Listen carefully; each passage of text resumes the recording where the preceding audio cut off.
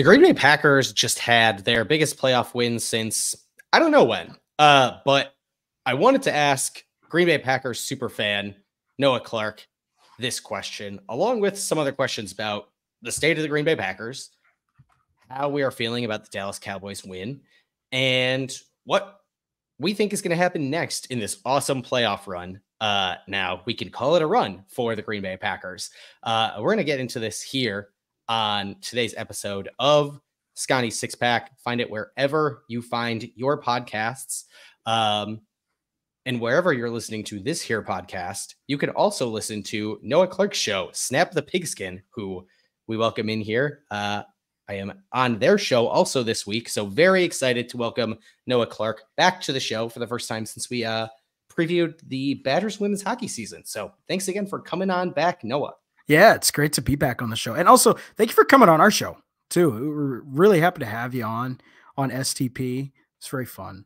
Uh, I, I, can't wait. I, I can't wait to talk Packers. Yeah, it's it's it's a blast, especially when when when it when Sam is on there with us with all three of us. It's a good group. It's, it's uh, just... yeah, it's good. I I I wanted to say like this crazy internet world. Uh, it it is meeting you two has been has been good internet friends. I'll, I'll put it that way. It's been it's been a good time. Um, but when we are not on the internet, uh, we are watching the Green Bay Packers win playoff games uh, against the Dallas Cowboys. Uh, how are you feeling coming off of that playoff game? Um, what a win! What a fun ride! How how are you feeling about watching that? Just without thinking about what comes next, just watching the game, feelings of winning that game itself over the Dallas Cowboys? You know, even beginning into this game, like I had no expectations for this Packers team coming into this postseason because they already had like the way that the season had gone, they had already accomplished like so much of their goals this year. And for a team that was in a rebuild year to make the playoffs too, really incredible. So this was like the first time I was just like, if we lose, we lose. You know, if we win, hey, we win. But to watch that game unfold, it was like so amazing and so surreal. Like I couldn't have been, and I'm sure any other Packers fan couldn't have been happier to see the way that game unfolded, to see the way Jordan Love played, and to see the way that that offense played. I mean, they were that was the best performance that we had seen from them all season long, and you know, probably going all the way back to week one in the Bears game. I mean, they were just, they mm-hmm. came out, you know, right out of the gate on fire and they did not stop. And I, I'm just, you know, I'm happy. I'm I'm happy. There's there's nothing more to say. I'm happy. And you know, now it's on to the next challenge and we'll see where it goes, basically. Yeah, it was a blast. And I think that begs, you know, the question I, te- I teased at the very top of the show. You and I talked about it in in the pre-show here the Green Bay Packers, as you reminded me, had not won a playoff game since 2020, since winning over the Rams in the divisional round before the Packers lost at home to Tampa Bay in the NFC Championship game. So we've had a few years here between playoff wins, and this feels like a big a big win in terms of the direction of the franchise, how we feel about this team, knowing all right, last few weeks weren't just a, a weird quirk of playing some bad teams. This this was beating I mean beating the heck out of a good Dallas Cowboys team. And so this is a bigger playoff win than what? What this ranks where in terms of recent playoff victories for the Packers in your mind? You know, honestly, like there's a couple. There's like I could give you two. I mean, this is the biggest biggest playoff win since the last time they beat the Cowboys in the playoffs, which was 2016, when they were also underdogs in that game. They were not really favored to win that game, and the Cowboys again had a home playoff game where the higher seed against the Packers and and and still lost that game. So there's that one. But you know, the other one that me and you were talking about off air was the Bears game back in 2010. Like that mm-hmm. I, I think is up there. The Falcons win, so that's three actually. The Falcons win is probably the bigger, is probably one of those. But if I were to like pinpoint this, I think it, it, the biggest playoff win for this team would probably have to say, you know, 2016 against the Cowboys because you you talk about it, it's it isn't lining up like how the way that that story went, but like not like this team really didn't have many superstars in 2016, like especially on the mm-hmm. defensive side, and it's the same thing on the offensive side, like you look at the secondary in 2016, the Packers had Ladarius Gunter, Kentrell Brice, Micah Hyde, and uh, who was the other one? Oh, and um, Josh Hawkins, I believe, was the corner for for this Packers for the Packers secondary. Like they were just unbelievably bad. So for them, you know, and for Packers fans, I think you know this is something that they can hang their hat on. You know, I think if you compare it back to the 16 year too, there, there are some parallels in that was the Aaron Rodgers quote unquote run the table year, mm-hmm. uh, where he was playing, I, I mean, at a level that we may not see another quarterback replicate literally ever again, uh, because that defense was absurdly bad. And Aaron Rodgers carried that through f- forever uh, un- until it came to a crashing halt against a, a phenomenal Atlanta Falcons um, offense. And this year has some similar vibes where Jordan Love has been playing like the best quarterback in the NFL. I'm not saying he is the best quarterback in the NFL, but if you are looking for a quarterback to play at a certain level, to call them that, that is what the last, I mean, few weeks in particular have been. Uh, so I think there's some nice parallels there. But if I'm answering the question personally, I have always been one who I, I value rivalry wins, maybe more, maybe more than others.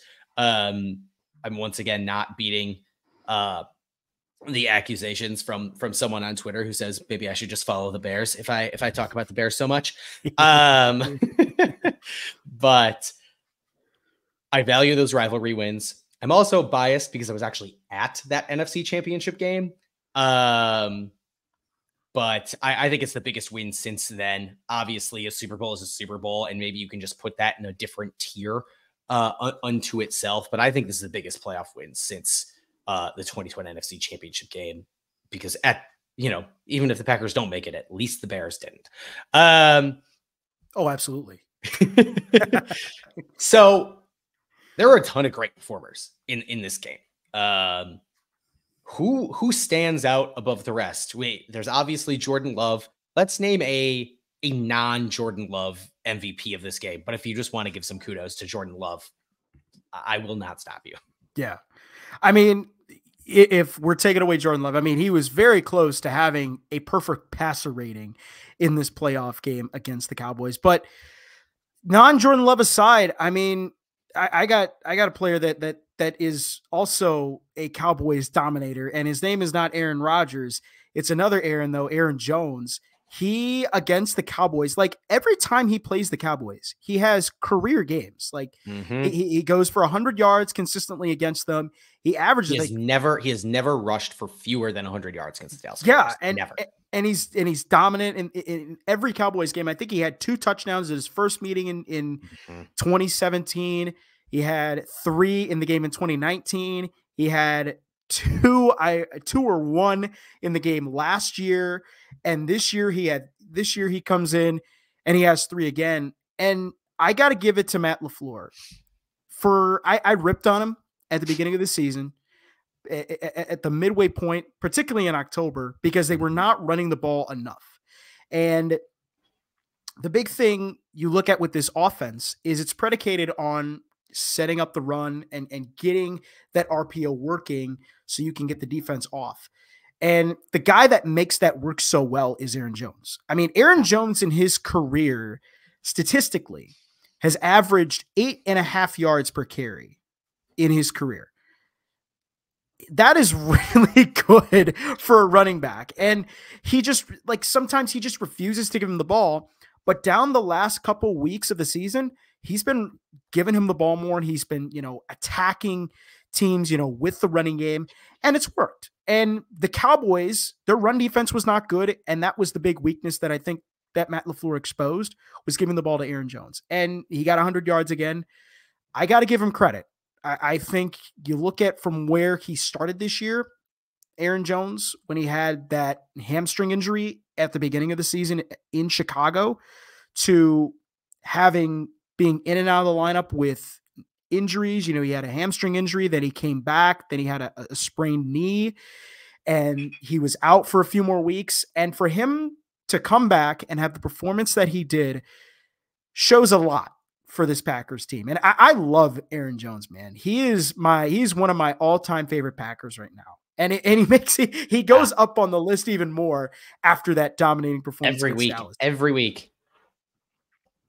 Um, I think you said Aaron Jones rushed for rushes for eight yards per eight and a half, eight and a half yards, eight point five yards. I think that, that, was there was a against the Cowboys. Are you saying? No, just in his career. In his career, like there was a stat out there. In his career, he's averaged eight and a half yards per carry. I don't think that's quite right because he has. I'm looking at Pro Football Reference, and he's he's averaged yeah. five yards per attempt. Um, so I think that's. Not quite right, but eight, eight, right. eight, would be absurdly high. Um, it could it, it might have been a stat a few years ago, but who knows? I think it's I, that might be against the Cowboys. Um, yes, but yeah. anyway, um, yeah, Aaron Jones has been phenomenal. I think another perhaps uh, um player here to, to, name is is Zach Tom. Um, love Zach Tom on the offensive line. Yeah, I, I mean, I I am a big fan. I, I said um, I said in the show last week, I'm a big fan of both options that the Packers have right now at tackle, both Zach Tom and Rasheed Walker. Uh, I think R- Rasheed Walker is making a great place for him on the roster, regardless of whatever happens with David Bakhtiari um, for next year. But Zach Tom allowed zero pressures to Micah Parsons uh, in, in, this game, and he just looked absolutely phenomenal.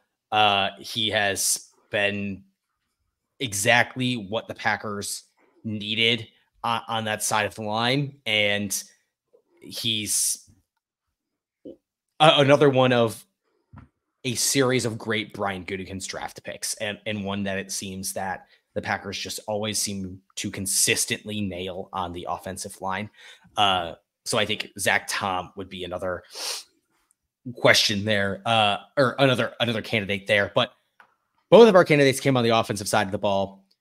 There were some interesting things that happened on the defensive side of the ball, and the defensive side of the ball is, of course, been the big question for the Packers this season. Surprising, given $90 million of cap space to offensive players are not playing on this team uh, in Aaron, Aaron Rodgers and, and David Bakhtiari. Uh, you have the youngest offense in the NFL, the youngest crop of pass catchers since forever. So, regardless, the defense has been up and down. And we got a really up and down game from the defense in this game in particular. I think there's a case for Joe Barry being safe after this one, regardless of the up and down performance. But what do you what do you think? What what does your gut tell you? Is is Joe Barry safe in his job as the defensive coordinator of the Green Bay Packers after this performance? Oh man, I mean, well, with Joe Barry, like you said, up and down performances he's had this year. You you you have some good performances for him, like we saw towards the end of the season, like he had against the Vikings and against the Bears, and even against the Lions, you know, on Thanksgiving Day. But then you have these just like and and and Sam Jamini tells me this. You know, you have these unforgettable like losses. You know, like and Joe Barry has unforgettable losses, like or, or, or unforgivable losses. That's mm-hmm. what I meant to say. Mm-hmm. Unforgivable mm-hmm. losses. The Giants loss, almost unforgivable. I mean, you you can't lose to the Giants, especially you know when Tommy DeVito is the quarterback, or in this case, Danny DeVito, as we like to talk talking about him on Snap the Pigskin, but you can't lose to you can't lose to a team that doesn't have their starting quarterback in the Giants. And then you look at it, the Panthers game, you can't let Bryce Young throw for throw for like 300 yards. That's just that's just not acceptable. I mean, and especially they were the worst team in the league. That's that's pretty tough. And so but now we fast forward to the playoffs he did a phenomenal job in the playoffs. I mean, defensively, they were able to get turnovers. They were able to get stops on Dak Prescott and and this team. And for right now, honestly, Kedrick, I think he keeps his job. I, I, I know Packer fans and myself are going to be hating to say that because I want this man off my team, but he's done enough, honestly, I think to keep his job. You look at the job he's done down the stretch of the season where he, you know, where they had the Bears and the Vikings, two must-win games that they needed to have, and they won both of those games. And and then in Flip the side of that is the Yeah. Panthers game was also a must-win game. Yes. and defense they did not win that game because of the defense. Yes, and, and that's the other thing, too, and that's the thing too. It's like, well, you have the Panthers game to look back on, but they got the job done. The defense got the job done when they needed to get it done, and that's really impressive. But I think this is the interesting, weird dichotomy of the Joe Barry conversation. Of course, we could say like, there's always what we wish would happen, what we think should happen, and then what we think will happen. And at this point, I think what will happen is that Joe Barry does return next season. I think Matt LaFleur has made it clear through his words and actions he wants Joe Barry to be the defensive coordinator of this team. Um, but you mentioned he has these weird losses where he just lays an egg uh, against a, a Tommy DeVito, a, not a loss, but sure felt like one in the moment against uh, against Bryce Young and the and the Carolina Panthers. But he also weirdly has defenses that just show up when you absolutely need them to. This game against the Dak Prescott, who is maybe should be the MVP instead of Lamar Jackson, will probably be the runner up for the MVP. That defense shut down Patrick Mahomes earlier this season. Uh, this defense also shut down San Francisco in 2021, uh, allowed them to score only 13 points in, in that playoff game, uh, in that 13 10 absolute banger. Um, and hypothetically too, like if you take away the special teams gaps, it should have been they held them to three in Right. that game. yeah, ex- yes, yes, yes, exactly. Um, yeah, how could I forget? I had the it's another game I had the Yeah. fortune of being at. Um, was I was also at heck. that game. Oh, really? Cold, cold and snowy. That's all I remember. Uh, yeah. Um, but yeah, Joe Barry has this weird tendency to show up when they absolutely need it most and absolutely just choke the heck out of games when you don't think that defense should. I don't know. I also think Joe Barry is safe, even if they shouldn't. Um, maybe the answer to this next question is the Joe Barry of it all. Uh, but we, now we look ahead to the 49ers. What are you most worried about here? Is it this high flying Kyle Shanahan led offense? Is it the defense? Is it the Packers defense? What are you most worried about heading into Denim Jeans Stadium? Denim Jeans Stadium. I like that. That's a good one.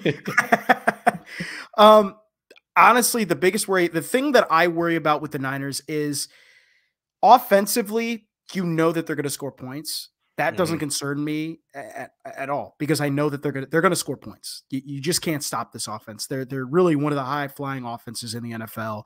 You've got Deebo Samuel, George Kittle, and um, Christian McCaffrey.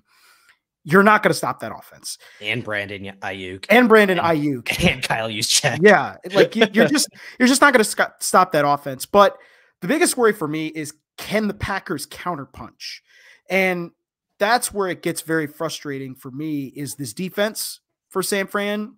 Mhm. They are always, you know, they're kind of the backbone of this team. In the in the years that you know we've seen, you know, with Steve Wilks now as the defense coordinator, in the past with DeMeco Ryans and Robert Saleh, that has been really their staple point is the defense and the the mainstay, the the, the glue that keeps that defense together is that defensive front. I'm more worried about the defensive front against the Packers offensive line. Can they stop Nick Bosa? Can they stop those pass rushers from getting home? Can they maneuver Fred, you know, can they maneuver Fred Warner around? That is more of my concern because Jordan Love, yes, he played a really good game against a really good Cowboys defense. I mean, they were they were fifth in total defense this year. That's great. But you're going up against the Niners defense that has a lot of pieces on the defensive side, particularly on the defensive line and the linebacking core, that really make it hard for you to go out and and, and win games this year. And that's kind of my big concern is can they counterpunch against this Niners team knowing that the Niners have some incredible studs on that defense? Yeah, I, I think the defense is actually where the 49ers are are a little bit gettable, frankly. Um I'll, have more on this actually in uh, our show tomorrow here. Uh, we're going to do a bit more of a scheme breakdown of of the 49ers Packers matchup. But the the offense is definitely what what worries me. Um the the 49ers have some really good good tricks that they use to get into exactly the play that they want to. Brock Purdy is great at getting them into exactly the play that Kyle Shanahan wants that offense to be in. Um, I do think, however, that the Packers have some ability to stop the 49ers from getting into those plays.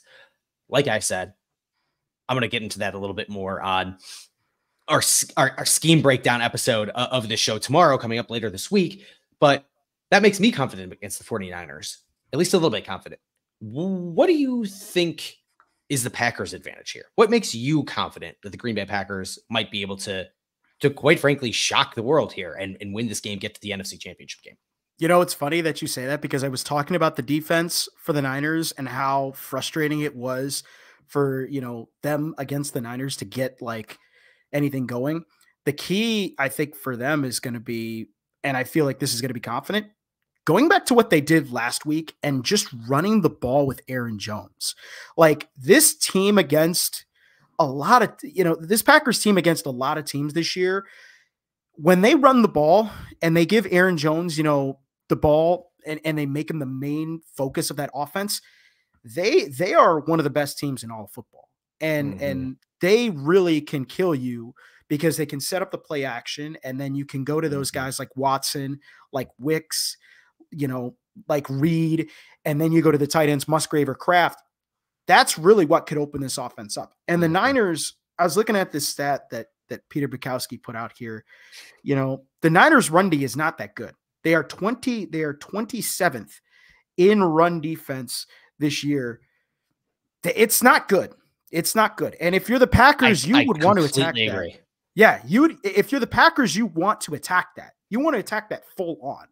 They did it really well against the Cowboys. I would not be surprised if Matt LaFleur goes back to that same game plan and attacks the Niners with that. And that's what makes me, I think, feel confident about this as well. So I'm gonna I'm gonna put this on the, on the screen real quick for our for our viewers on on YouTube. Uh, you can follow at Sconnie Six Pack there. Watch watch the show every day. Sometimes we have these these interesting tidbits. Um, totally agree. 49ers run defense absolutely suspect.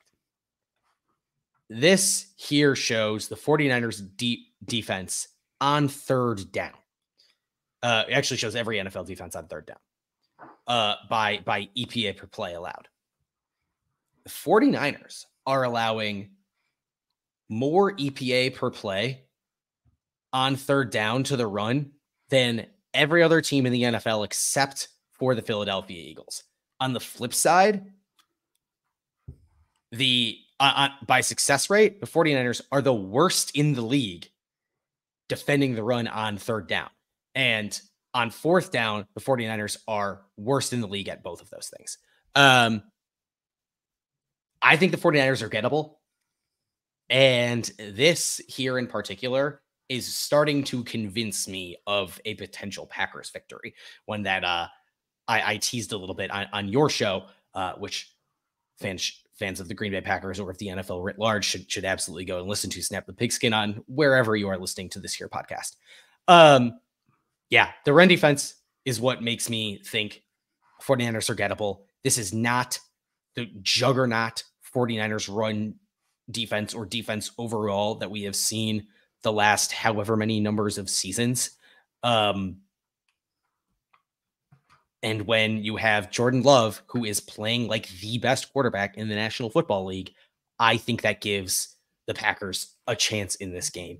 Um, could be fun. I think I think this could be a really fun game. There there is a reason I was at least making an attempt to get to this game um, even if it failed. yeah. I mean, but the confidence, I, I will give credit though. Jordan Love has played really well in a lot of like big, you know, big time moments. Like, and it goes back to Thanksgiving. It goes back to Thanksgiving Day. Like, not the Bears game. I could care less about that. That's the Bears. We knew the Bears were going to blow that. We knew the Bears were going to blow that game somehow, some way. But, but this game against the Lions was when it really showed that he could really play on a big time stage in a big time moment. Because once he beat the, the Cowboys, yeah, against the Cowboys, but I'm talking like the how he got you know got to where he is now, where we're mm-hmm. seeing him be like this incredible player. Like it goes back to that Lions game on Thanksgiving. Like okay. in that pressure, you know, in that situation where you're on Thanksgiving Day, everybody's watching you, you're playing in it, you're playing on the road, and for him to go out and dominate that's what really started it all. And you look at it because after that, they beat the Chiefs. You know, they beat the Chiefs in Mahomes. They beat the Vikings on the road. That's a tough stadium to win at. You, you beat the Cowboys on the road last week. It's, I, you know, if Jordan Love goes out and shows that he can ball out against the Niners, like the confidence level, I feel like going into next season is very high, but also too, his confidence level right now must be surging surging going into this game. Oh, I, I think we can we can take a step back from confidence level going to next season. If they oh. beat the Niners, no one's going to talk me off of this team winning two more games. oh no. No. No. And the way that the other side of the bracket looks too. Like you got the Lions and the Bucs. There th- those are potentially winnable games. Like if you Th- beat the Niners. Absolutely winnable games. I mean, Packers have won one of those games already, one and one against one of those teams and dropped it dropped a game that they had no business dropping um, to Tampa Bay. Um, would love would love to go down to Tampa Bay and, and watch and watch them win that game. But all right, I any other thoughts on on this here game against the San Francisco 49ers or or the game previous against against Dallas? Gotta you gotta give credit to Matt LaFleur. And I also, you know, we talked about this on Snap the Pigskin and I go and I have to reiterate this, but give credit to Brian Gutekunst. Like any Packers fan that you know wanted him, you know, fired as the general manager or at least, you know, wanted him on the hot seat in 2020 after he passed on Justin Jefferson, CeeDee Lamb, Brandon Aiyuk, Patrick Queen, you know, all these guys in the first round to draft to trade up, to trade up and draft a quarterback in Jordan Love and it, it, they're pretty quiet.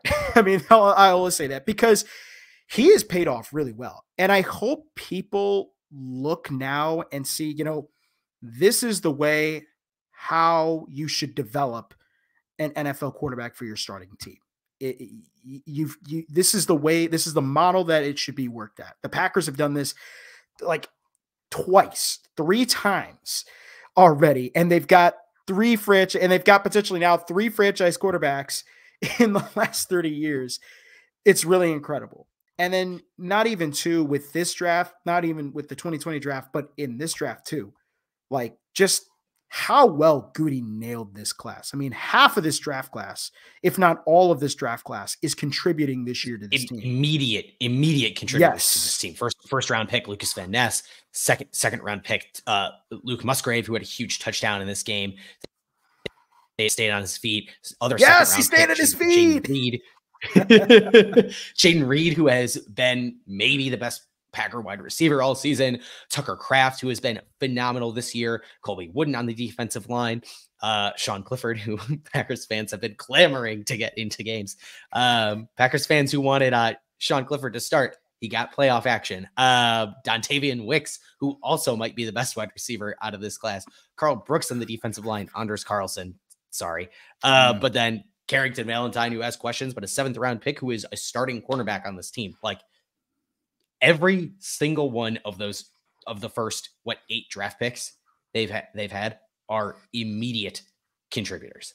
Just yeah. phenomenal, phenomenal, phenomenal draft class class by Brian Gutekunst, and some of those guys are why why I think this team just might be gettable. Um, and I'll talk about that a little bit. Um, I really hope Brian Gutekunst gets executive of the year. I really I hope he he's going least, to. He should. The way he should. This, the way that this drafted, the, the way that he drafted this year, and the fact that they've made it this far, and they've got another franchise quarterback, is nothing short of amazing. He should. Um, I think a big personnel question though for Gutekunst that we can give him his flowers. What if they don't trade Rasul?